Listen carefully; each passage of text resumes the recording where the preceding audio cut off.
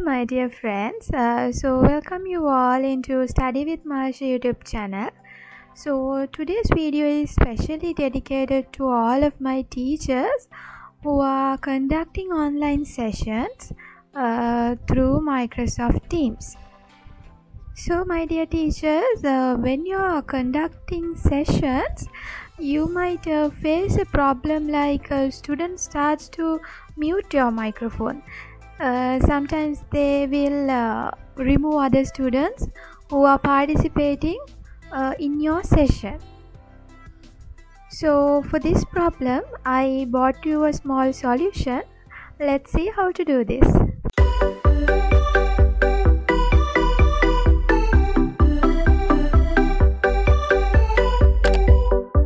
okay my dear friends so first of all let's uh, have a look how the problems occur during your session. Okay. So here i have opened uh, two windows. Left one is for the teacher's account and the right hand side uh, window is for the student's account. Okay. So first of all let's uh, go to the calendar and uh, let's check uh, where we have uh, scheduled our meeting. Okay. So i'm going to uh, join the meeting as the teacher here. And with the other account i will uh, join to the meeting as a student. Okay now here i will show you how the student and the teacher can see each of their participants. Okay now here let's see uh, this is the way a teacher can see the participants and any teacher can remove their participant anytime okay? So there we uh, cannot see any issue because the teacher can remove any student anytime. But here comes the problem. When the example 2 student go to the participants option uh, I think you can see uh, the example 2 student can remove uh, the example student. Okay so here comes the problem. Now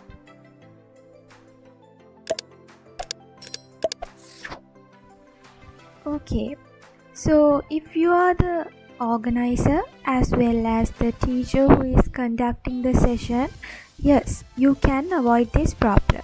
Okay so first of all you all should uh, find your find your calendar uh, where you have scheduled your meeting. Okay so i will go to my calendar and here i will click on my uh, scheduled meeting and i'm going to open it. Okay so here you can see there is option called meeting options. So click on that and they will open your window like this so here they will ask you who can uh, bypass the lobby okay? So no issue. There normally they will uh, select you the option people in my organization. So no need to change. But uh, as a second uh, option they will ask you who can present. So here you have given everyone but you need to change it as only me. After that you can save this. So let's check whether our option is working so here i have uh, opened uh, my two windows. So left one window is for the teacher and the right hand side window is for the student. So i will go to the calendar and i will join this meeting as the teacher first. All right so as the second thing uh, I will uh, go to my students account and I will join the meeting as the student. So here this is my example 2 student. And with my other device I will uh, uh log in as uh, the sample example student. Okay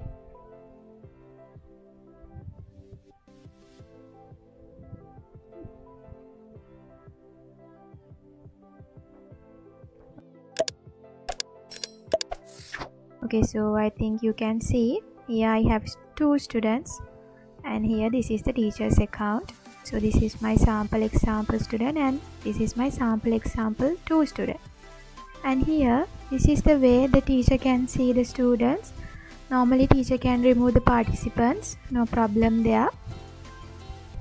And here once you check the students account now you can see the example 2 student cannot remove the example student. Okay. So i think uh, now our problem is already solved. Uh, even the student cannot remove the organizer. That means your teacher. Let's uh, check that also.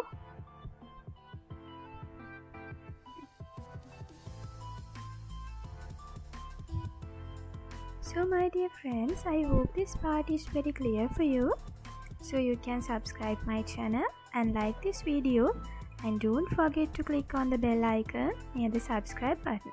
So then as soon as I upload the video you will get the notification. So uh, see you with another new video soon. Thank you very much